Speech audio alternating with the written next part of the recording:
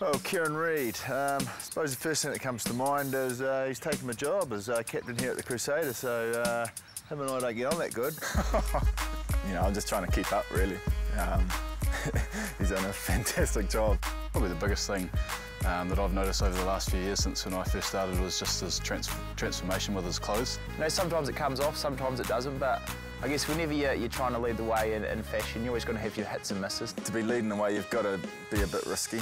So there's always going to be some misses, I'm, I'm sure.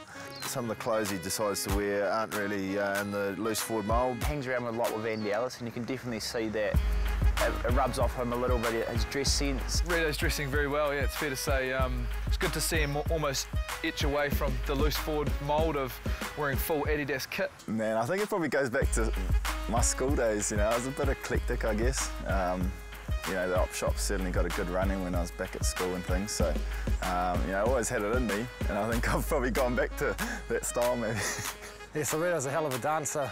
He's got quite a few moves. He's, uh, yeah, he's sort of a little bit alternative on the dance floor, to be, to be fair. It's probably after, you know, you're enjoying a night and it's a bit later on that I'll get the moves out, I think. He's often one of the first ones out there, which is, which is kind of awkward. Um, if the mood gets me in the right way. But I guess you've got to have someone someone to follow, and, and as a great leader that we all know he is, um, it's good, good to have someone out there first. That's Rito. He's, uh, you know, he's not afraid to put himself out there and be himself. I guess, that what, I guess that's what makes him so special. First time I ever roomed with him, woke up in the middle of the night to, just give me the ball, give me the ball. And I was like, what's going on here? Unbeknownst to me, but he's a bit of a notorious sleepwalker. Yeah, I was the new guy on the block, I guess, and room with big white crockets, a bit intimidating sometimes, so. Got up in his undies, walked out, out the door, and, uh, and then woke up. a Bit disorientated, I guess, for a wee while. Didn't really want to wake up the big fella, so. He was so shy and, and, uh, and polite that he, that he wouldn't want to knock on the door to wake me up. Went down in the elevator and make sure no one was around. Ran across to reception and got a new key. Red actually got a lot of his base fitness uh, through rollerblading. No one knows that really. Um, rollerblading through Papakura when he was a young fella. That's where he sort of got that core strength through his through his legs and lower back.